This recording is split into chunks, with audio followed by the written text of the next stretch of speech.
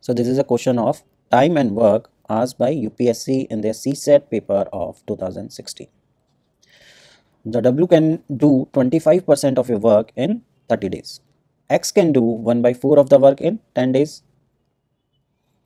Right. And Y can do 40% of the work in 40 days. Z can do 1 by 3rd of the work in 30 days. So who will complete the work first? Right. So they have given what? Let's take W first. Right. So he is able to complete 25%. So we, we can write 25 by 100. So he complete 25 by 100 works in how many days? 30 days. Right. So therefore he will complete one work in how many days? 30 upon 25 upon 100. So this will be equal to 30 into 100 upon 25. 25 4 is 100. This will be 120 days. Otherwise you can do it directly because 25% work is completed in 30 days. So 100% will be in how many days? So 4 times here, so it will be 4 times here. So it will be 120 only, right? So now for x. So x can complete 1 by 4 of a work in how many days? 10 days. So therefore he will complete one work in 10 upon 1 upon 4 days. So it will be 10 into 4 upon 1. So it will be 40 days. Right. And now for y we will calculate. So y is able to complete 40% or we can write 40 upon 100. So he is able to complete 40 by 100 work in how many days? 40 days. So one work he will complete in how many days?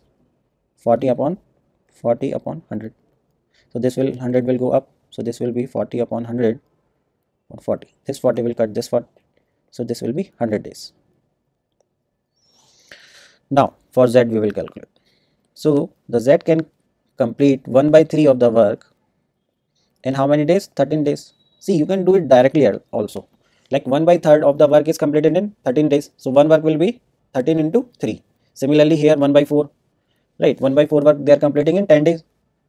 Right so this is equal to like 25 percent right otherwise you can use the uh, this method like anybody can solve it right so this will be four times so here z is completing 1 by third of the work in 13 days so one work he will compute in 13 upon 1 by 3 so it will be 3 into 13 it will be 39 so now the question is asking who will complete the work first so who will complete the work first? Who will take the minimum day? Right. So he's taking 120 days, he is taking 40 days and he is taking 100 days.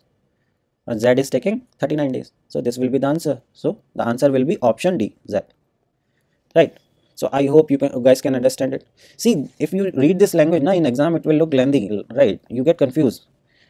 But if you keep yourself patient and calm, you can solve it very easily, right?